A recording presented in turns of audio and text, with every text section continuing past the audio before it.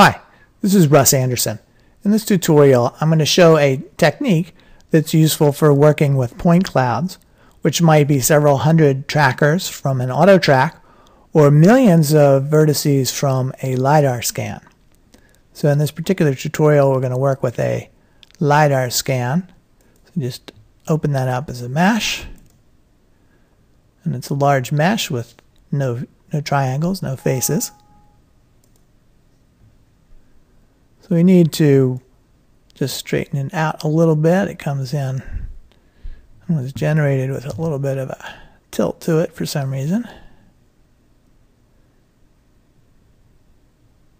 And the web page cites the university that generated this particular scan, the name I can't particularly pronounce. So let's go look at it now in the perspective window. You have a whole lot of points. Now we're going to set it as an edit mesh so that we can play around with the vertices a bit. And you'll see now we've got a whole lot of points. They're pretty large when we've got this many points.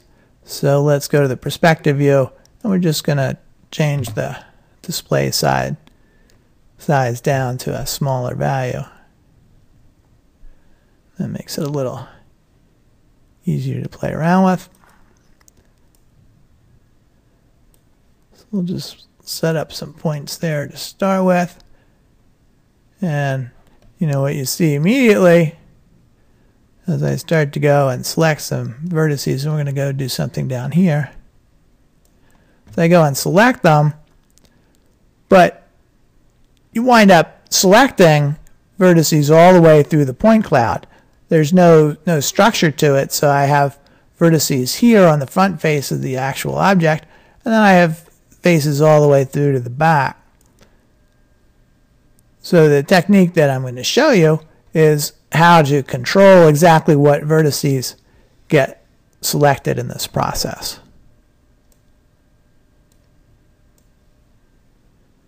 So to do that, we're going to go over to the front view.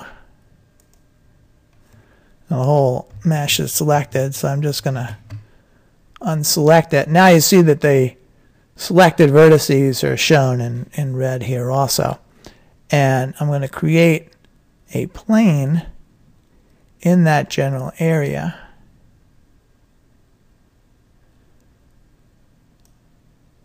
And you might have noticed the image kind of just shimmering a little as, as I was doing that. And that's just an artifact of the kind of software renderer that's being used here and it's just the result of different ties in the render being resolved depending on which processors, which of the cores finishes first. So let's go now to the top view. And here are selected vertices back there. Here's the plane that we just created. So let's just go and we're going to move it back there, right kind of into the thick of things. And now I'll spin it around a little bit to align it with that front face.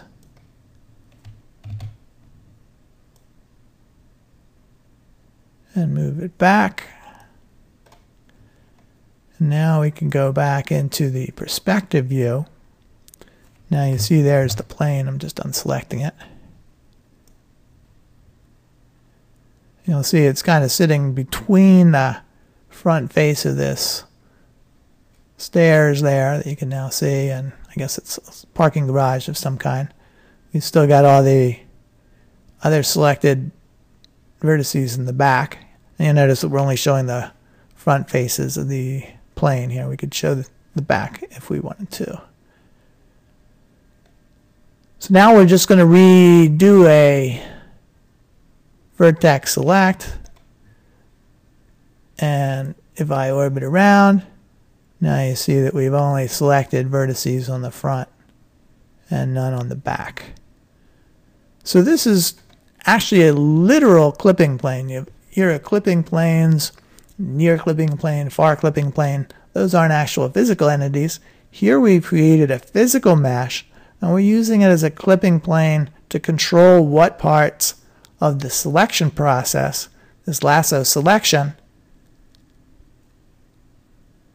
you know, what, what part of that is being used, what, where that process stops. So I could actually add multiple clipping planes into the scene as well and hone in on some particular area that I'm working with. And as you see, it, it helps not only control what the particular set of vertices that get selected, and it also helps actually visualize a little, can cut out the clutter in the back. Now, I will point out that this process continues to work also. If you switch to a wireframe mode, and now I can go and select things, and the, the clipping plane is still in effect even though it's not being shown as a solid object. So it's a useful technique for working with LiDAR data, working with tracker collections, a tracker cloud that you've created that maybe has a terrain model and you're trying to build up something like that into a nice mesh. So enjoy. I hope you find that a useful technique.